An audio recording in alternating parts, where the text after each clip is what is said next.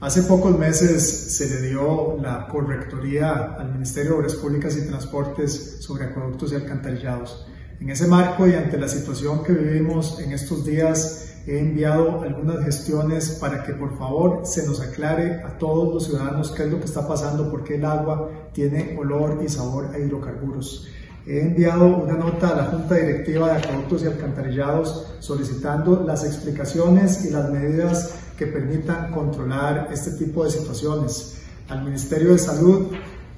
como ente con materia técnica de la calidad del agua, que por favor intervenga, y a la Defensoría de los Habitantes para que ayude en investigar y en verificar qué es lo que está ocurriendo. Al presidente ejecutivo de la AIA le he solicitado el día de hoy que dé las explicaciones de cuáles son las medidas temporales que se van a dar para garantizarle a la población el acceso al agua limpia.